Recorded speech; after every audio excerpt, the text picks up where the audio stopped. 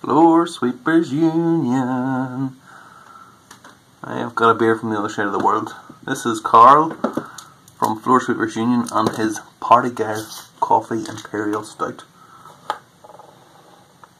9.2%. I thought I got a bit of a boozy note, a boozy note off that. So yeah, I've been kind of hanging on to this for a while. But it is now the the never world between Christmas and New Year. I don't even know what day it is, never mind what date. So, thought, let's get out the big beers, will we? And there we go. So, that is dark.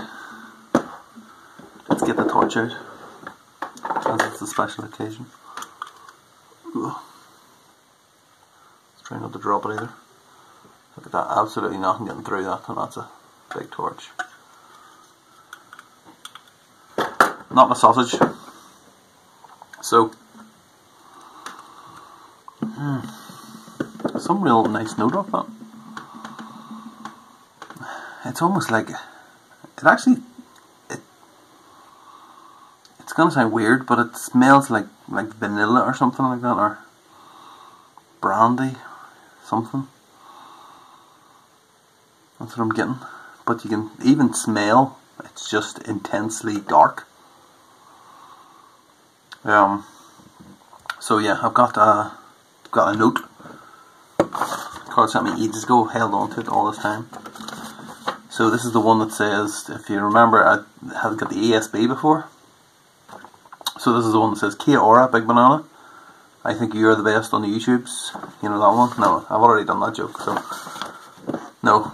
So, Parti-Gyle Coffee Imperial Stout, 9.2%, Gladfields Ale Malt, Dark Crystal, Light Crystal, Lactose, um, and the hops are Much Aware, never had, East Kent Goldings, yes I've had, Fuggles, yes I've had, and White, White Labs Irish Ale Yeast, which I am familiar with. So,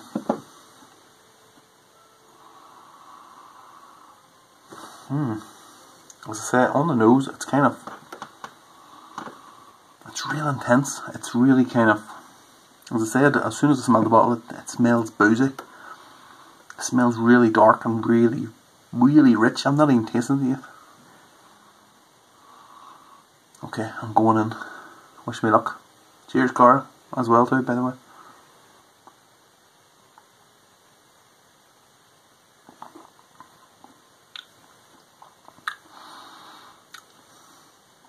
Wow, that is that is an imperial stout.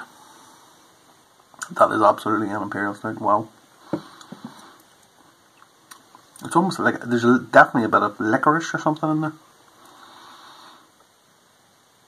It's really, really nice.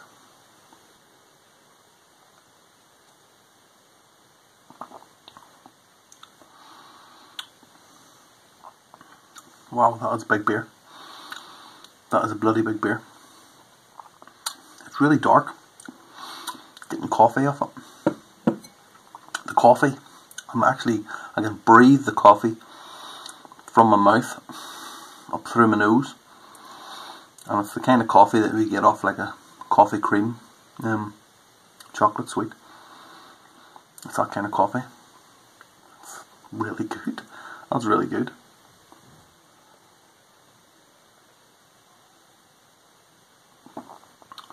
It's so unbelievably rich. I'm not sure how much of the lactose you put in, but that must have been better. It would have been better if you hadn't, I imagine. It's at a nice level. My god, it's so wow.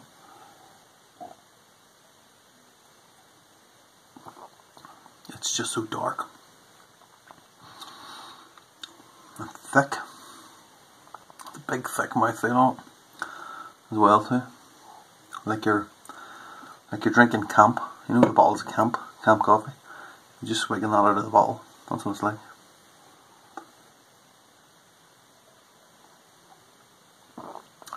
like a Starbucks version of a Trump with a bottle of camp. Whatever that sentence meant, I don't know. I've had a beer tonight, by the way. So I'm just, just here to ramble on.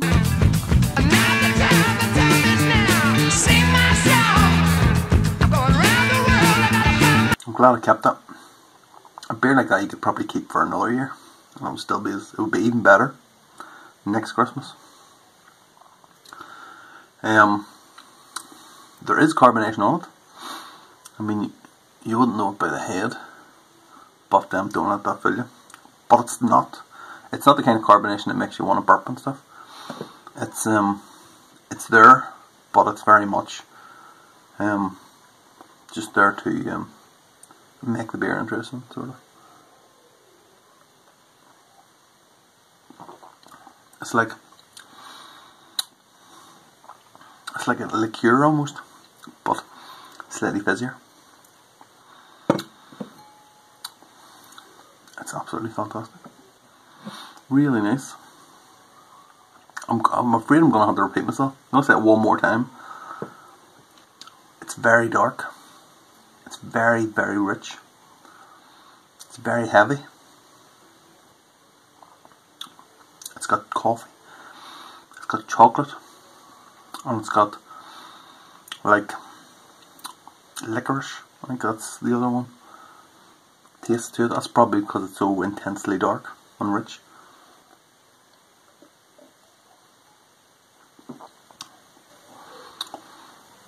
That's really good, Car. That's really good. Um, so that's it. I'm not going to go on anymore because I'm halfway down that glass. It's 9.2%. And I'm, I'm getting a bit pissed. So we'll just say, um, we'll say Happy Christmas. Christmas is gone. Happy New Year. And um, yeah, see you all.